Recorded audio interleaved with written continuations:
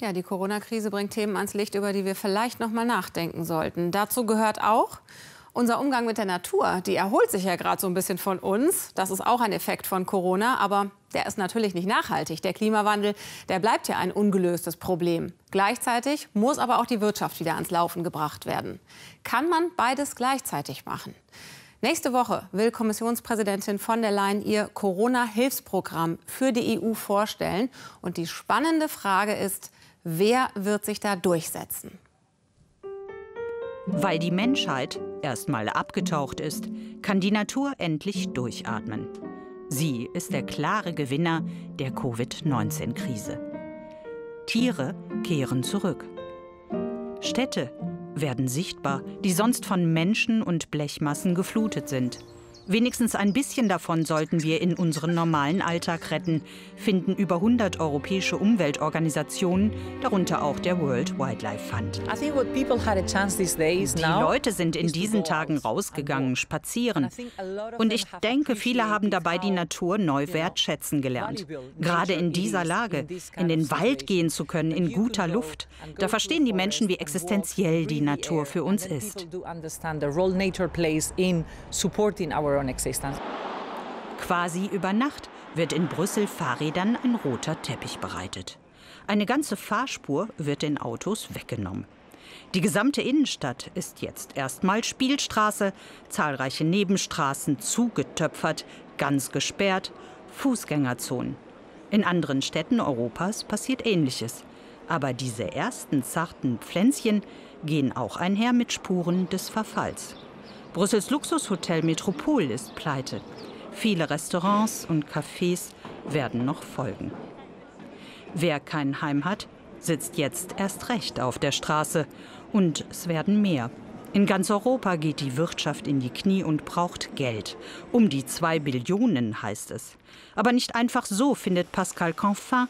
Der Franzose mobilisierte das Europäische Parlament mit großer Mehrheit für einen grünen Neustart zu wählen.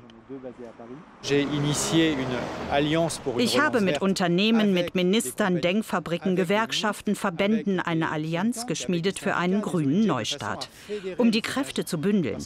Ich möchte absolut nicht den Fehler von der Finanzkrise 2009 wiederholen, wo die Wirtschaft geputscht wurde ohne Klimaziele.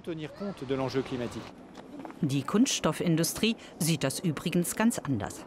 Weil sich die ganze Welt in Plastik verbarrikadiert, findet sie, könne man jetzt doch auch alle EU-Gesetze zur Eindämmung von Plastikmüll direkt wieder in die Tonne treten. Und die Autoindustrie? Sie durfte vielerorts ihre systemrelevanten Autohäuser noch vor Restaurants und Friseuren öffnen und nun träumt sie wieder von der Abwrackprämie. Die neueste Generation der Diesel, die neuesten Generationen der Benziner. Wir haben ja, so genau, Benziner und Diesel, sagen Sie. Diese Autos wollen Sie auch wieder fördern. Damit es da keinen Irrtum gibt, Prämien dienen der beschleunigten Einführung von Elektroautos und kleineren Motoren. Aber angenehm ist es nicht, gerade in Covid-19-Zeiten auf den öffentlichen Nahverkehr angewiesen zu sein. Das Bedürfnis der Menschen, sich in Autos zu isolieren, durchaus verständlich. Doch es sollte nicht mehr so eskalieren wie bisher.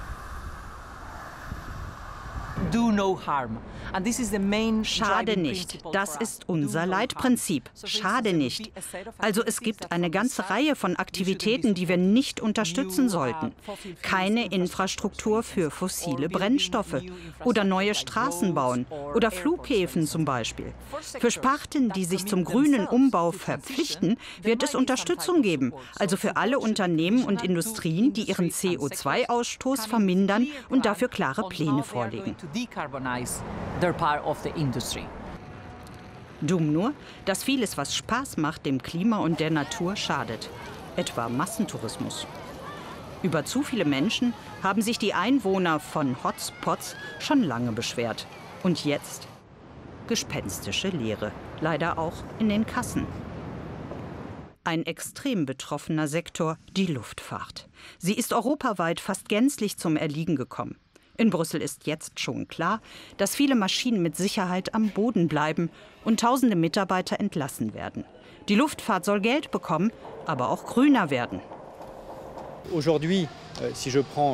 Wenn ich jetzt mal den französischen Vorschlag nehme, innereuropäische Flüge unter zweieinhalb Stunden abschaffen, insbesondere dann, wenn es alternativ einen Zug gibt. Stellen Sie sich nur mal vor, alles unter drei Stunden würde allmählich wegfallen. Das ist eine Menge. Wenn wir das machen würden, wäre schon viel erreicht, ohne die Reisefreiheit zu beschränken. Wir haben ja eine Alternative. Dafür müssten mehr Zugstrecken ausgebaut werden. Und das wiederum kann Arbeitsplätze schaffen. Arbeitsplätze müssen ganz dringend her. Denn immer mehr Menschen in Europa verlieren ihr Einkommen und sind auf Tafeln angewiesen. In Polen eskalierten jetzt die Proteste. Die Angst wegen Covid-19, die gesamte Existenz zu verlieren, geht oft einher mit Nationalismus. Den kann Europa gerade gar nicht gebrauchen.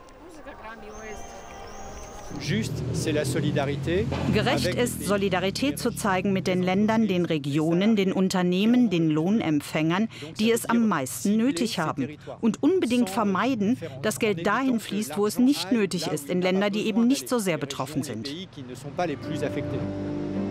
Europas Wirtschaft reparieren und auch noch grün werden. Brüssel selbst geht schon mal voran mit riesen Fußgängerzone und alter Börse unter Palmen.